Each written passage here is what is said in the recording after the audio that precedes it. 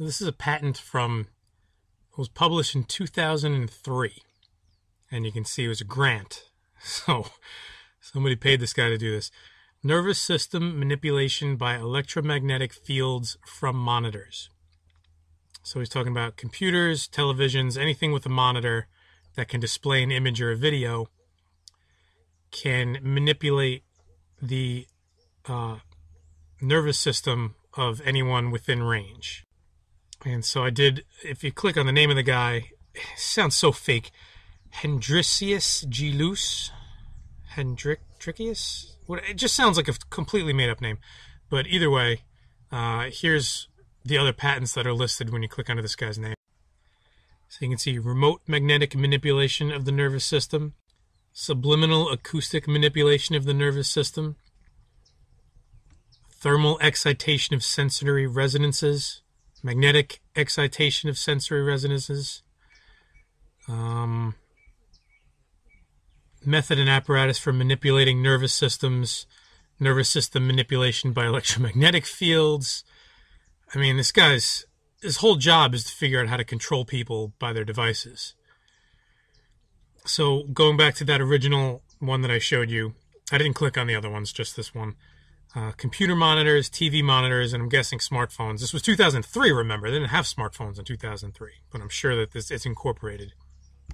Can be made to emit low frequency electromagnetic fields merely by pulsing the intensity of displayed images. Experiments have shown that a half a hertz and 2.4 hertz works. Uh, hence, a TV monitor or any kind of monitor can be used to manipulate the nervous system of nearby people.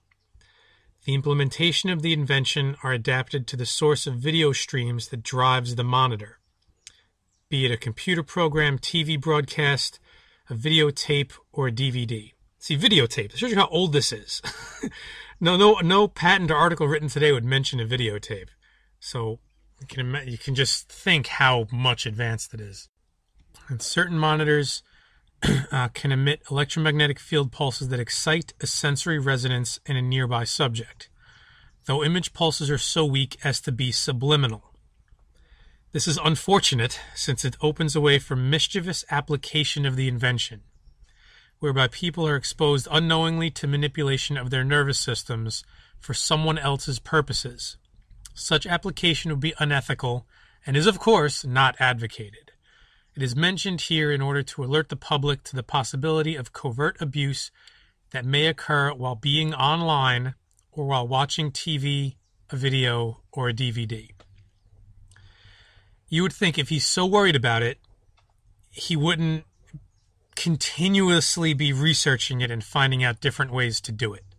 Right? I read to you all those different patents he has on how to manipulate the nervous system.